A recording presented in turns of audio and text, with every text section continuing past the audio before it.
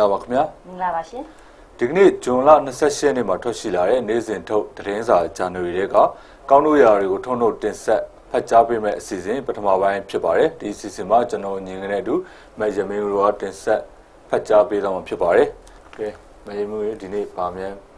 ထူးခြားလေးဖတ်ပြဖို့ရှိသေးတယ်အမ်ဒီနေ့ထွက်ရှိလာတာကတော့7 day daily သတင်းစာမှာဆိုရင်ဟုတ်ကဲ့ဝန်ကြီးချုပ်တာဝန်ထမ်းဆောင်စဉ်အသုံးပြုဖို့အတွက်ဗိုလ်ချုပ်မမောင်အောင်ကိုရဟတ်ရင်တစည်းပေး ပြည်မြန်မာကတော့မဟာတဏိဒုက္ခအေးအမှုမှန်ပေါ်ပေါက်ရန်အတွက်တစ်မျိုးသားလုံးဝိုင်းဝန်းကူညီပေးကြပါရန်ဆရာတော်ဦးဥဒရကတိုက်တွန်းလိုက်တဲ့သတင်းနဲ့ပေါ့နော်ဟုတ်ကဲ့ပါဒီမိုကရေစီတူဒေးသတင်းစာမှာတော့နိုင်ငံတော်အလံကိုအလေးမပြုလို့သူတွေကြောင်းမတက်ကြနဲ့ဟုပညာရေးဝန်ကြီးဌာနကအဆင့်မြင့်အရာရှိတဦးကပြောကြားဆိုတဲ့ခေါင်းစဉ်တွေနဲ့ထွက်ရှိလာတာပေါ့နော်ဟုတ်ကဲ့ပါကိုညီငယ်ကရောကျွန်တော်အနေနဲ့ကတော့ဒီမှာအရင်ဆုံးအိဒါအဝေါ်လေးဖတ်ပြချင်ပါတယ်2015ရွေးကောက်ပွဲအကြိုကာလတတိပြု နေရာဒီရောက်ပြီဆိုတဲ့နေတဲ့မိတတိပြုဆိုသောဆောင်းမုတ်ကိုစာဖတ်သူများတတိထားမိကြပြီမည်မြန်မာနိုင်ငံနံပြားတွင်စည်ရင်ချွတ်တဲ့မှုပေါ်ဆမှုအခြေခံအစာအုပ်အဆင့်တန်းမှီမှုနှင့်စီမံခန့်ခွဲ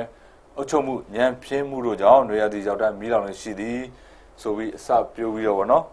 ဒီကျွန်တော်တို့ရွေးကောက်ပွဲတမိုင်းတွေကိုကျွန်တော်တို့ဒီမှာစပြီးတော့ရေးတာတွေ့ရပါတယ်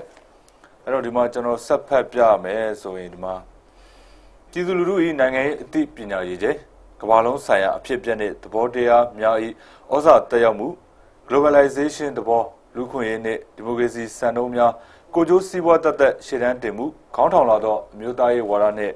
အစွမ်းရောက်ဘာသာရေးယူဆများစသည့်လှိုင်းများကြောင့်အာဏာရှင်စနစ်သုံးနိုင်ငံများဒီမိုကရေစီစနစ်တို့အတွင်ကူးပြောင်းလာခြင်းဒီမိုကရေစီကူးပြောင်းပြီးစနိုင်ငံအချို့နောက်ပြန်လျှော့ချခြင်းစီးပွားရေးစီးကြီးထွားလာသောအာဏာရှင်တပိုင်းနိုင်ငံများ ဗိုလ်ကျလာခြင်းနှင့်အာဏာရှင်နိုင်ငံအချို့နှင့်ဘာသာရေးအစွန်းရောက်အုပ်စုများထရာဆိုင်ကတပ်ဆိုင်ရာနိုင်ငံအသီးသီးဒေသအသီးသီးနှင့်ကမ္ဘာငြိမ်းချမ်းရေးကိုအကြက်ကန်ချင်းချောက်လာခြင်းတို့ကြုံတွေ့လာရသည်ဆိုပြီးဒါကတော့ကမ္ဘာတလောမှာဖြစ်ပျက်ဖြစ်လေဖြစ်တာရှိတဲ့ဖြစ်ပျက်နေတဲ့ခြေနေတဲ့နှိုင်းရှင်ပြီးတော့ပြောပြရပါဒါသင်ခန်းစာလေးပေါ့နော်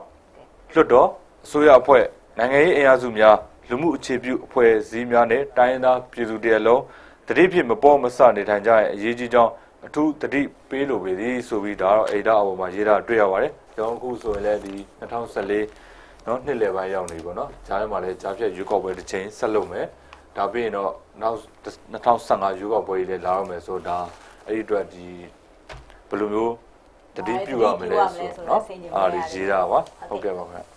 ဗာမြန်ဖတ်ဖို့ရှိတယ်မယုံဘူးအဲဟုတ်ကဲ့ပါဒီ daily 11သတင်းစာရဲ့စာမျက်နှာ3မှာဖော်ပြထားတယ်ပေါ့နော်ဟုတ်ဖွဲ့ကဲ့စည်းပုံရဲ့အားနည်းချက်ကိုသုံးပြီးရွေးကောက်ခံမဟုတ်ဘဲနဲ့ဒီတက်မတော်သားကိုယ်စားလှယ်ကိုဝန်ကြီးချုပ်အဖြစ်တမရကအဆိုပြုတင်သွင်းမှုကအစင်အလာဖြစ်သွားမှာကိုစိုးရိမ်နေလို့ရခိုင်မျိုးသားပါတီကောင်းဆောင်တွေကပြောကြတယ်ပေါ့နော်ဟုတ်ကဲ့ဒါအခုလက်ရှိကိုချုပ်မမောင်ကိုရခိုင်ပြည်နယ်ဝန်ကြီးချုပ်ဖြစ်တမရအဆိုတင်သွင်းတာပေါ့ဟုတ်ကဲ့သူရခိုင်ပါတီတွေဘက်ရဲ့သဘောထားပေါ့ဒီဖွဲ့စည်းပုံ ဟိုပြင်ဖို့ကျွန်တော်တို့ကြိုးစားတယ်တဲ့မပြင်ခင်မှာဒါမျိုးငွေပေါက်ကဝင်မယ်ဆိုရင်ဒီအပေါက်ကဝင်တဲ့အစင်အလာဖြစ်သွားမှာကိုစိုးရိမ်နေကရင်ရခိုင်ပြီးရင်ကချင်လာမလားဆိုတဲ့စိုးရိမ်စိတ်များကပြည်တော်စုတဝန်လုံးကိုစိုးမိုးလာမယ်ဆိုရင်ဘယ်လိုဖြေဖြောင်းမလဲတဲ့ဒီလိုဆိုရင်ဒီဥစ္စာဖွဲ့စည်းပုံရအာဏာသိမ်းဖို့လို့လုံးရက်တိုင်းမှာစိုးရိမ်နေကြတာရှိတယ်ဒါတွေက democratic case ဆိုတဲ့အရာလေးကိုမှင်းမိန်နေတယ်သတိထားဖို့လိုတယ်လို့အဲဒေါက်တာအေးမောင်ကဆိုလိုက်တယ်ပေါ့နော်ဟုတ်ကဲ့ ဒီလိုပဲရွေးကောက်ခံကိုယ်စားလှယ်များအားဝန်ကြီးချုပ်ဖြစ်ခန့်အပ်ခြင်းမပြုဘဲပြည်내ဝန်ကြီးချုပ်ကိုတမရကခန့်အပ်နေသမျှတိုင်းရင်းသား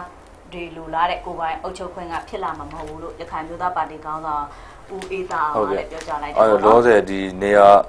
လွတ်နေရပေါ့နော်ဒီရခိုင်ပြည်နယ်ဝင်းကျုံနေရာကိုအစားထိုးလိုက်တာကိုပြန်ဝေဖန်ကြတာပေါ့နော်ဟုတ်ပါတယ်ဟုတ်ကဲ့အဲဦးအေးသာအောင်ကဘယ်လိုဆက်ပြီးဝေဖန်ထားလဲဆိုတော့ ဒီလိုပြည်내မှာဝန်ကြီးချုပ်ကိုတမရကခန့်အပ်နေတာက1948ဖွဲ့စည်းပုံသဘောမျိုးပါပဲတဲ့ဒါတွေကိုတိုင်းသားတွေကတောက်လျှောက်ဆန့်ကျင်လာခဲ့တာပေါ့အခုလဲဒါကိုပြင်သင့်တယ်လို့ကျွန်တော်ကမြင်ပါတယ်ဒီလိုကိစ္စတွေအပါအဝင်2008ဖွဲ့စည်းပုံမှာပြင်သစ်ပြင်ထိုက်တဲ့ဥပဒေပုံမှန်တွေကအများကြီးပဲလို့ဦးသေးတာအောင်ကဆက်ပြီးတော့ဝေဖန်လိုက်တာပေါ့နော်ဟုတ်ကဲ့ပါအဲ့တော့ကျွန်တော်တို့မှာတော့ဒီစံတော်ကျင်း သတင်းဆောင်ပေါ့နော်ဒီတက်မတော်သားကိုလက်ရင်ကဆွတ်လွတ်သူများကျန်းသူမိသားစုများဝင်တော့ဝင်ပိုးဖြစ်နေကြရာဆိုပြီးတော့မျိုးသားလွတ်တော်ကိုယ်စားလှယ်ဥဖုံးမြောင်ဟာတဲ့ဒါဂျွန်လ26ရက်မှာပြောဆိုတာဖြစ်ပါတယ်အဲ့တော့အခုလက်ရှိကျွန်တော်တို့မျက်စိမျက်မြင်ပါပဲเนาะတွေ့နေရတယ်လမ်းဘေးမှာစာအုပ်ရောင်းတာတွေတချို့ဆိုရင်ဒီနောက်ဆုံးဒီတောင်းစားတာတွေအထီတော့ပေါ့နော်လုံနေအဲ့အဲ့ဒီအခြေအနေဖြစ်နေရပေါ့ဒါပေမဲ့ဆိုးအနေနဲ့ကဒီပံ့ပိုးမှုတွေကအရန်နဲလုံးနေပေါ့နော်အဲ့ဒါကြဖြစ်နေတော့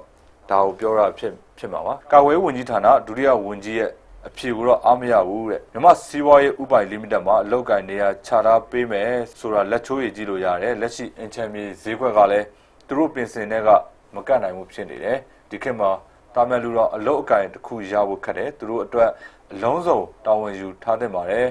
ဆိုပြီးတော့ဥပုံမြေအောင်ကပြောတာပါတာဝန်ယူထားတဲ့နယ်ဆိုတော့ဒါကဒီ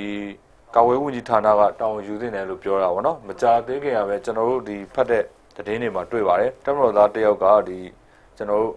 သူ့ရဲ့ဝင်ငွေသူ့ရဲ့ရရှိတဲ့အခုလာစာတို့ဒီပင်စင်စရိတ်တွေကဘာမှလက်တွေ့ပေါ်နဲ့လုံးဝနော်အဆက်မှုမရှိဘူးဗောနော်ဒီတက်မတော်သားကိုလည်းအင်္ဂါဆွန်းသူတွေအတွက်ထောက်ပံ့တဲ့ငွေကဒီဂျနီဖာလိုဘတ်အပေါင်ထားတဲ့တင်မန်တချမ်းသာရဲ့ငွေလောက်ပဲရှိတယ်လို့ဒီကိုယ်စလဲ ကြက်ခိုင်ကိုယ်စလဲဖြစ်တဲ့ဦးလာဆွေရလဲသူကလည်းပြောထားပြောတာရှိတယ်နော်ဟုတ်ကဲ့ပါအဲ့တော့ဒီမှာသူဆက်ပြောတာဗောနော်ဒီတက်မတော်မှာတဲ့တာဝန်ထမ်းဆောင်ပြီးတော့ကြာရှုံးသွားတဲ့လူတွေကိုပေးတဲ့နစ်နာကြေးရလဲနဲတယ်တဲ့အလုပ်သမားထိခိုက်ဒဏ်ရာရရင်တော့မှ85သိန်းခန့်ရှိတယ်တက်မတော်သားများကိုတဲ့ထိုက်တဲ့တန်တန်ရစေလိုတဲ့အဲ့လိုတက်မတော်သားတွေပြင်ပမှာဒုက္ခရောက်နေသူများကိုတဲ့သိရှိလို၍ဘုံမျိုးဒါလွတ်တော်မှာမေးခဲ့တာဖြစ်ပါတယ်ဘာပဲပြောပြောတဲ့ဒီဥပဒေကိုနီးဥပဒေထုတ်ပြန်နိုင်အောင်လုပ်နေတယ်ဆိုတော့ဖြစ်သွားပါတယ်ဒီနီးဥပဒေကိုလည်း စောင့်ကြည့်ရမှာပါလိုအပ်ရင်ထောက်ပြသွားမှာပါတဲ့ဥပဒေကိုလည်းလေ့လာအောင်ပါဆိုပြီးတော့ဒါဥပုံမြေအောင်ကပြောတာဖြစ်ပါတယ်ဟုတ်ကဲ့ပါအဲမယမင်းရောဗာမြန်ဖတ်ပြဖို့ကြံသေးတယ်ကာတွန်းလေးတစ်ပုတ်အကြောင်းကိုလေပြောပြချင်တယ်သူကဒီလီလေဘန်သတင်းစာရဲ့စာမျက်နှာ15မှာပေါ်ပြထားတာပေါ့နော်ဟုတ်ကဲ့အဲအနောက်မှာလူလို့စုကြီးတစ်ခုရှိတယ်အရှိမှာကျတော့ဒီ uniform နဲ့အုတ်ထုပ်နဲ့ဆိုတော့ရဲလိုယူဆရတဲ့လူတရားပေါ့နော်ဒီကဒီမှာကျတော့ type ပုံနဲ့ ပစိုးနဲ့လွယ်အိမ်နဲ့စာအုပ်လေးနဲ့ဆိုတော့သူကအပေါ်ကရေးထားတာကိုယ်ပိုင်ပုံနှိပ်ပြီးနေတာတဲ့အဲ့မဲ့ရဲလို့ယူဆရတဲ့လူကပါလဲဆိုတော့အနောက်ကလူကြီးကိုလက်ကထားတယ်သူကကိုယ်ပိုင်ပုံနှိပ်မီဒီယာလို့စာရန်ထိုးရတဲ့လူကိုကျတော့လက်ညှိုးထိုးပြီးတော့သူကမေးနေတယ်။ဘာမေးလဲဆိုတော့သူတို့အကြောင်းကသိပြီးသားအရေးမကြီးဘူးတဲ့ခင်ဗျားတို့အကြောင်းကသိချင်တာတဲ့။အဲ့လိုမျိုးပြောတယ်နော်။ ဒီအနောက်ကလူအုပ်ကြီးရဲ့အပေါ်မှာကျတော့ဘယ်လိုရေးထားလဲဆိုတော့အကျင့်ပြတ်ချစာအလွဲသုံးစာအခွန်ရှောင်ငွေရလန်းမသိជីជីတက်လက်ပေးလက်စားဆိုပြီးတော့သူကရေးထားတယ်။ဒီကတော့လေအခု လက်ရှိဒီဂျာနဲ့ဟုတ်ကဲ့စာလိုက်တွေရဲဆိုဟို SP ပေါ့နော် SP ကနေရောရောက်စိန်မန်းနေတဲ့ကိစ္စတွေဟုတ်ကဲ့ပတ်သက်အဲ့တော့ဟိုကရေးထားတာပေါ့သူတို့အကြောင်းကိုစုံစမ်းနေတဲ့မီဒီယာကိုသူကပြန်ပြီးတော့စစ်တာပေါ့နော်အဲ့ဒီအကြောင်းကိုဖော်ထုတ်ရေးတာအကျင့်ပြတ်ချစားတာအကျင့်ပြတ်ချစားတာကြဒါသူတို့ကသိပြီးသားသိပြီးသားဆိုတော့ခင်ဗျားတို့ကြောင်းပဲသိချင်တာသူတို့သူတို့အတွက်ဒါအရေးမကြီးတော့ဘူးပေါ့ဒီကသိပြီးသားအရေးမကြီးဘူးဒီအဂရိလိုက်စားတွေပါတယ်အရေးမကြီးတော့ဘူးဆိုတဲ့သဘောလေးပါပါနော်အဲ့တော့ဒီကာတွန်းလေးနဲ့ပဲကျွန်တော်တို့နေ့စဉ်ထုတ်သတင်းစာဂျာနယ်တွေက